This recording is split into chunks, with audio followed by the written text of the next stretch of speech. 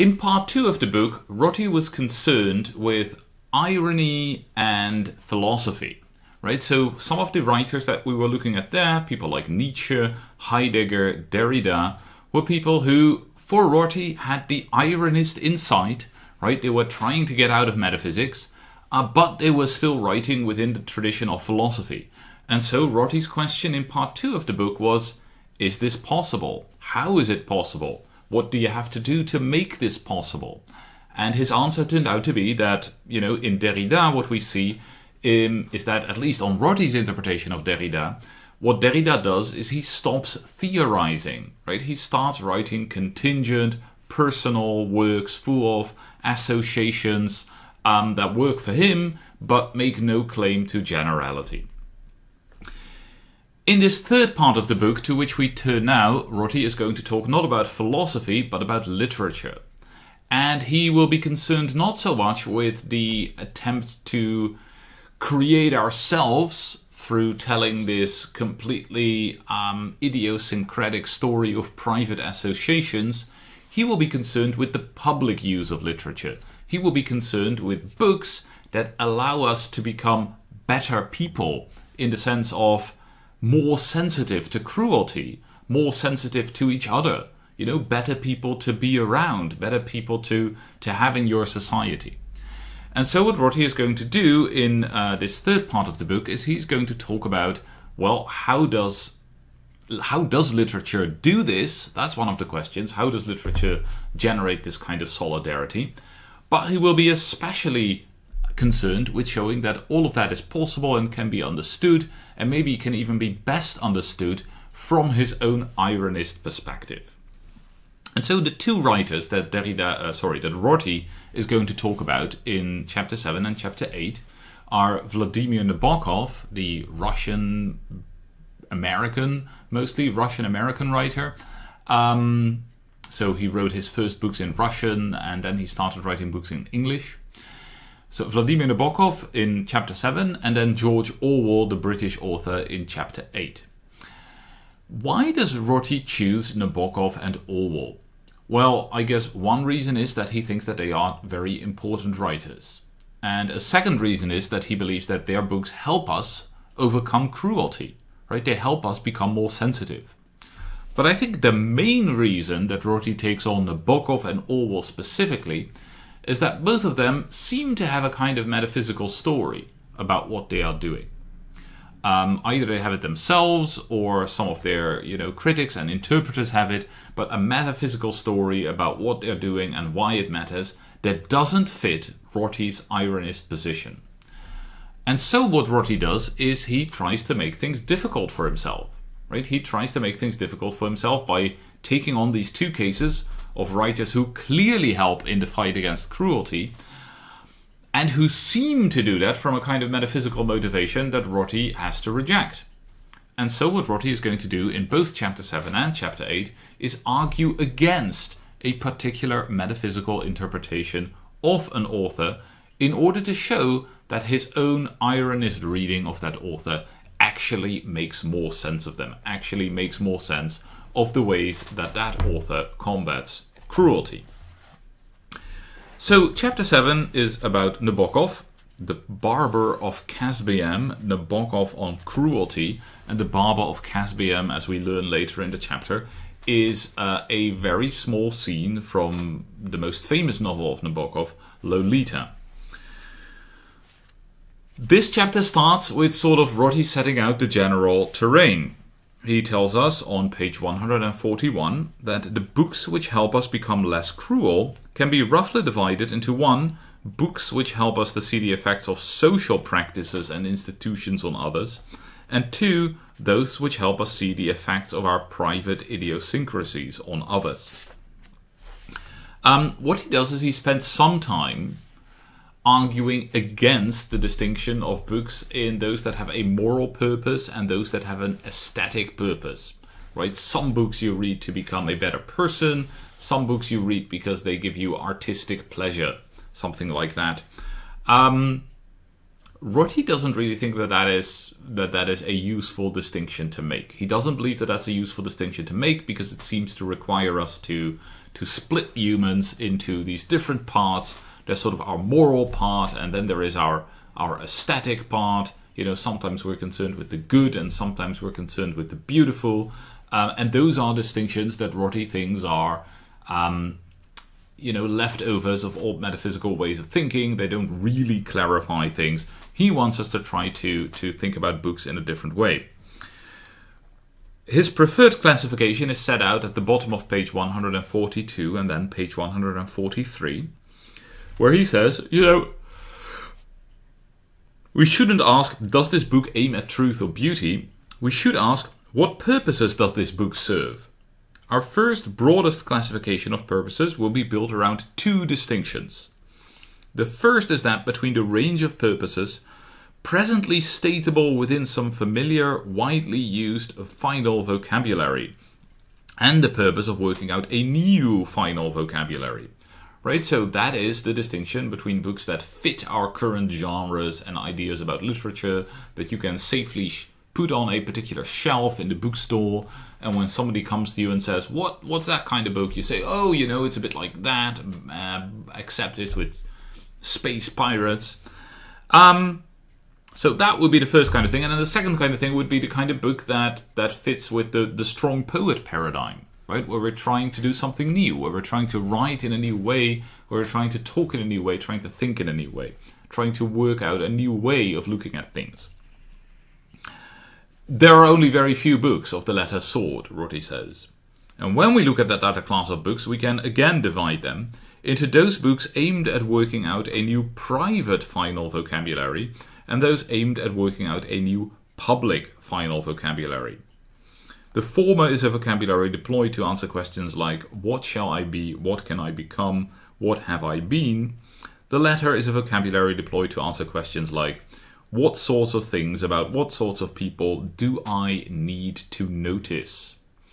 Do I need to notice? What we see here is a very important idea for Rorty uh, when it comes to literature, it's the idea that that literature helps us become you know that the kind of public new public final vocabulary that literature can help us establish is a new public vocabulary that makes us less cruel.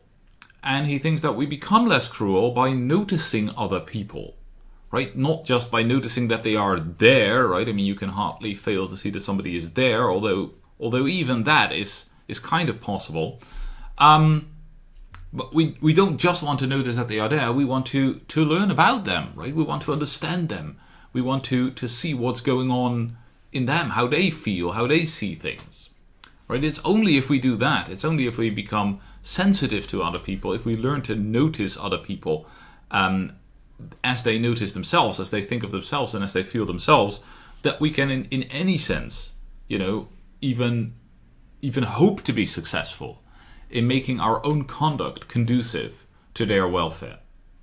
So we need to become sensitive to people if we want to become less cruel. Uh, and so that is precisely what great literature for Rorty, great literature in its public use, can do for us.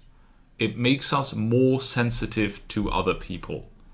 Um, in a in a later article, I believe it is a later article, Rorty, uh, Rorty writes about literature. The, the title of that later article is um, Redemption from Egotism, right? Where egotism, with a T, not egoism, but egotism, um, is just, you know, being totally absorbed in your own world, not even noticing others, not even noticing that other people have needs that are different from yours um, have experiences that are different from yours, and so on and so forth. That's what literature can do, according to Rorty. It can bring us a redemption from egotism.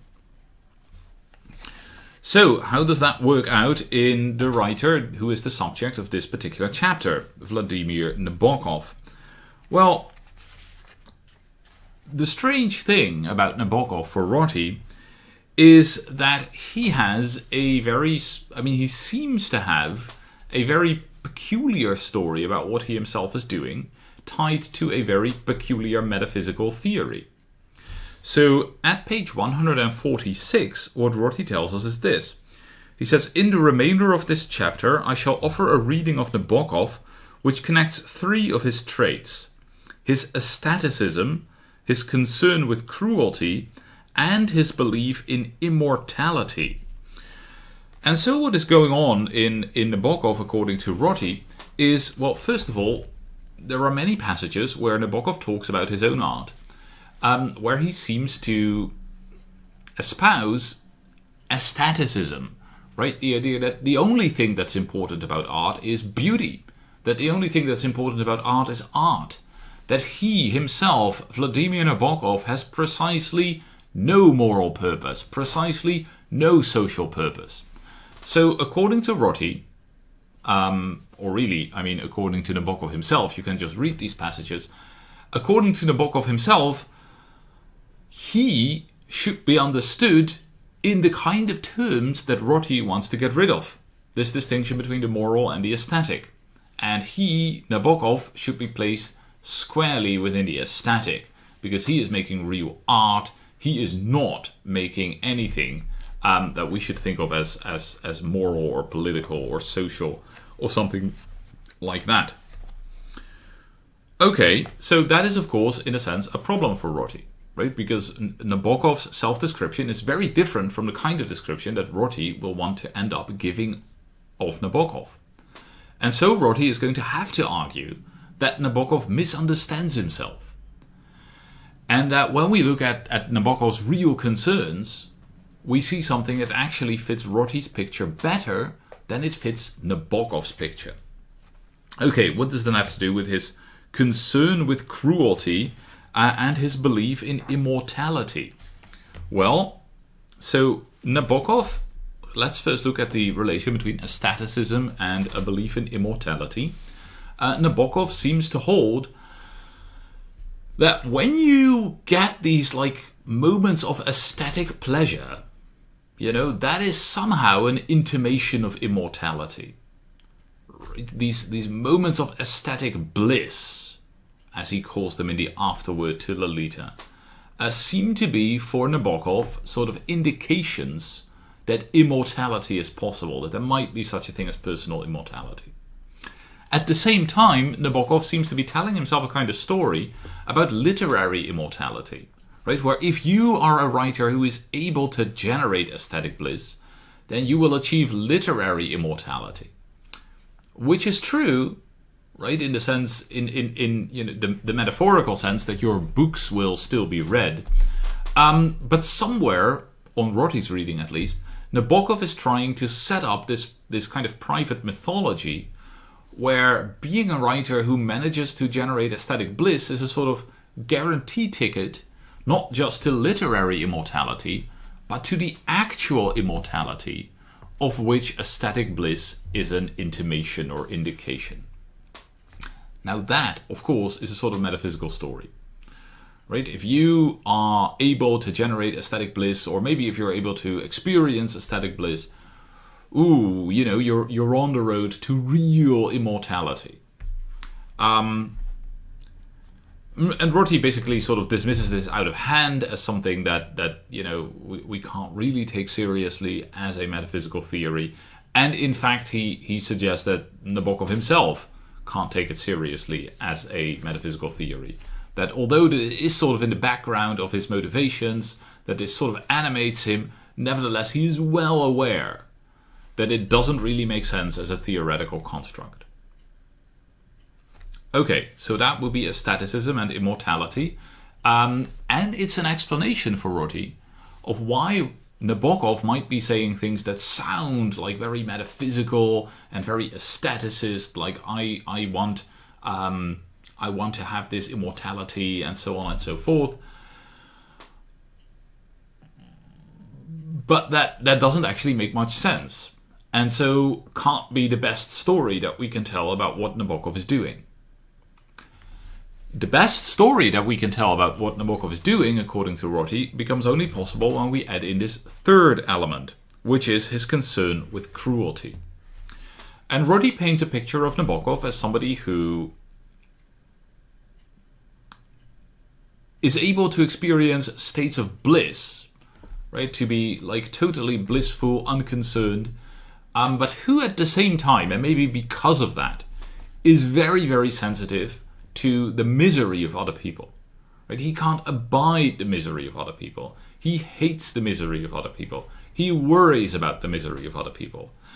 And one of the things in which he which he particularly worries about is having himself been the cause of the misery of other people. Having caused, having made other people miserable. And so what he is concerned about is not so much that he is going to be like totally evil, like he is to, I don't know, kill people for pleasure or something like that. Uh, he is concerned that without noticing, he might be hurting other people. He is concerned that he might not even realize that he has been hurting other people while hurting them maybe all the time. Right? And so, what he is concerned with is this possibility that we are really bad at understanding others, at noticing others, at being sensitive to others, and that that might be a source of a lot of cruelty. And in fact, what makes things worse, on Rorty's reading, is that it's precisely the aestheticism that makes, you know, that makes Nabokov himself extra vulnerable. If you are the kind of person who cares about moments of aesthetic bliss, if you are the kind of person who really gets absorbed into literature and literary projects and, and writing this book and, and thinking through this idea and so on and so forth, if you are that kind of sort of obsessive, self absorbed person, then of course you might also be the kind of person who is especially bad at noticing other people, who is especially bad at understanding other people's point of view, at understanding other people's experiences. If you are totally absorbed in your own experience, totally absorbed in your own way of, of thinking, in your own projects, then you are a prime suspect for the kind of cruelty that comes from not noticing others. And so Rorty says Nabokov, um, you know, on the one hand, he uses immortality to try to tell himself this nice little story.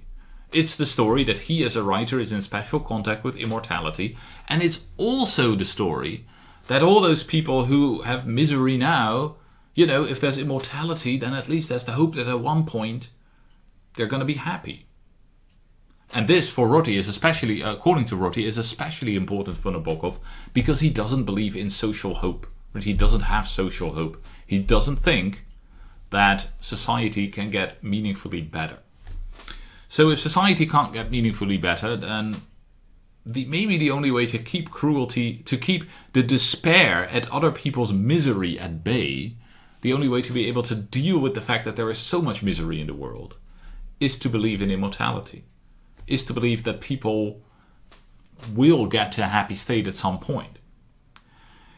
And so Nabokov's sort of comforting mythology, according to Rorty, is this story where he is a writer. That means that, you know, he is an expert in aesthetic bliss. That is what gives us intimations of immortality.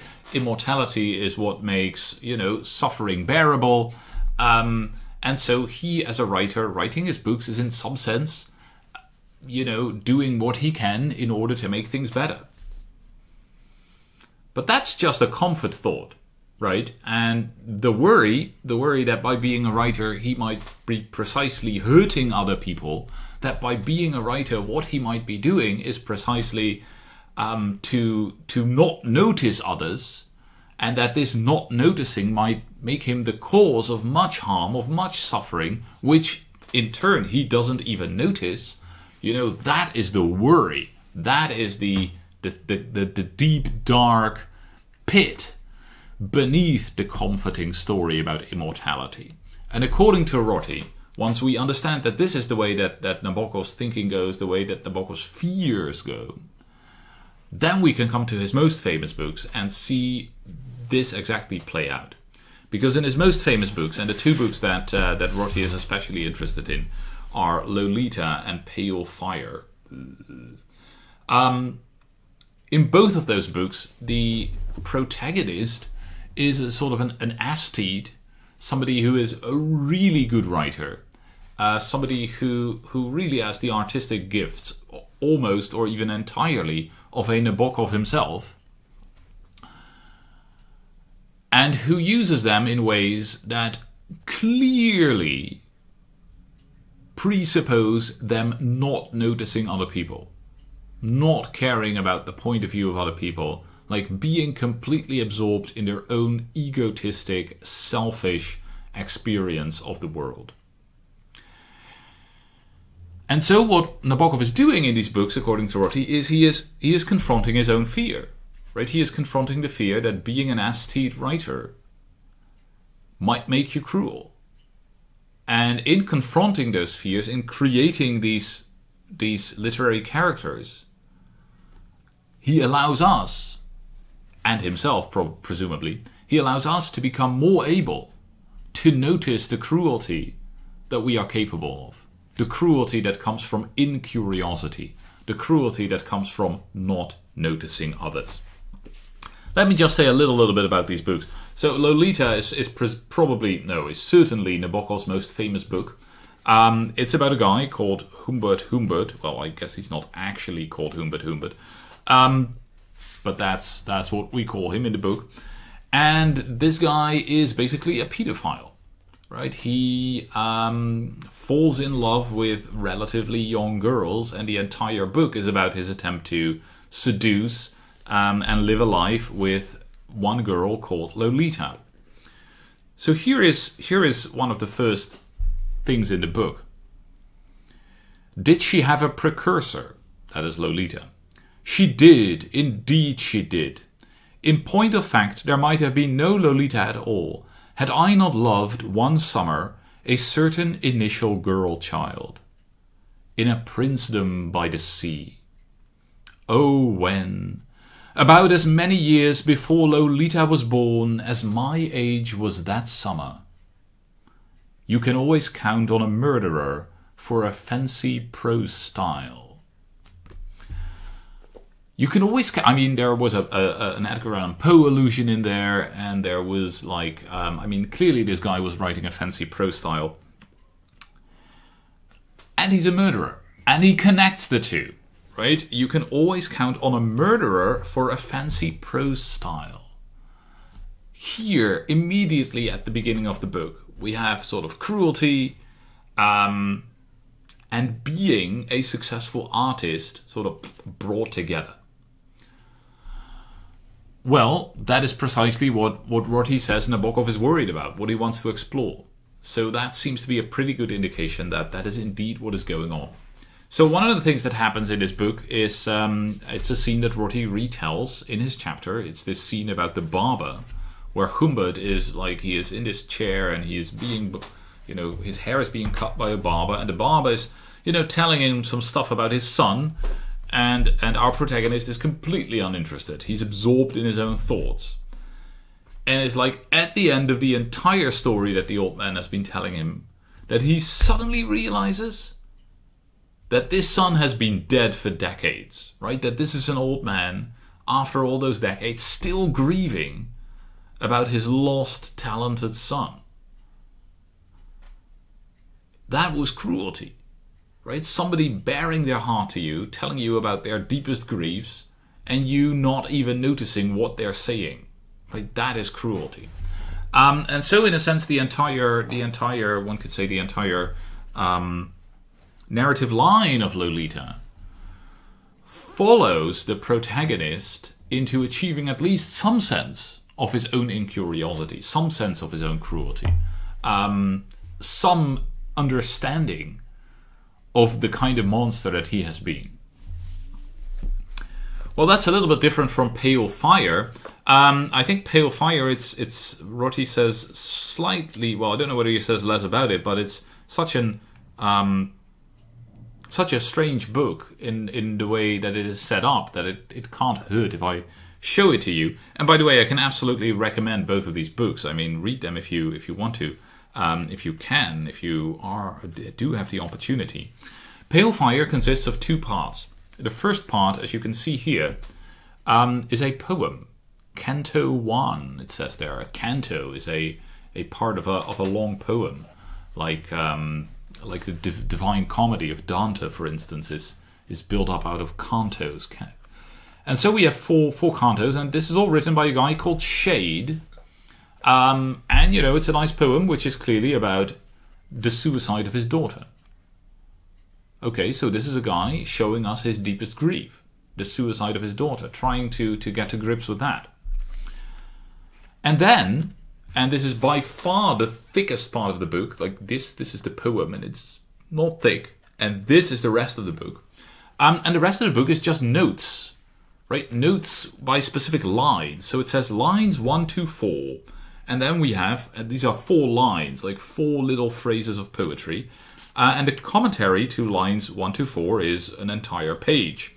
Um, and this is going to, you know, happen again and again, is that the commentary, written by a guy called Kinbote, uh, is, is much, much longer than the poem itself. And in this commentary, we get to know the relation between Kinbote and Shade. Um, we get we learn that Kinbote wanted Shade to write a poem about his own life, Kinbote's life, uh, that he really wanted Shade to do that, and that he has been pestering him non-stop with stories about that life, about everything that happened to him, the country that he came from, and so on and so forth. And then Shade died, and you know what did he have? Well, he had this poem about the suicide of his daughter. And so the entire final part of the book, which is by far the longest, is Kinbote's bizarre attempt to interpret Shade's poem as actually not being about that suicide, because that would be merely sentimental, but being about him, about Kinbote, which is like an, an, a bizarrely exaggerated version of the kind of of not noticing, right? It's it's like an almost perverse not noticing, an almost perverse literary egotism. But what makes it so fascinating, and what makes it so fascinating for Rorty, is that this Kinbote is actually much more interesting than Shade. That, you know, the commentary is actually the greater work of art. And so again, we are exploring this relation um, between, on the one hand, artistic merit, artistic talent, and on the other hand, this self obsessed, unnoticing cruelty of the artist. Um, and so that is what what Rorty wants to take away from this. And of course, I mean, the upshot of this entire story, if Rorty is right, uh, is that the right way to understand Nabokov is not in terms of some metaphysical story about art for art's sake or immortality and, and aesthetic bliss being the, the road to immortality or something like that. No, what Nabokov is struggling with is precisely the fact that he himself might be a cruel, nasty person. And he's trying to make us more sensitive to other people. And he's helping us become better people, less cruel people, by doing that. And the entire story about immortality and bliss is a sort of, if Rorty is right again, um, is a sort of almost a, a bad faith attempt to deal with his own fears. But, you know, the non bad faith attempt to deal with his own fears, like the great attempt to deal with his own fears, is writing books like Lolita and Pale Fire. And that is where we too can profit.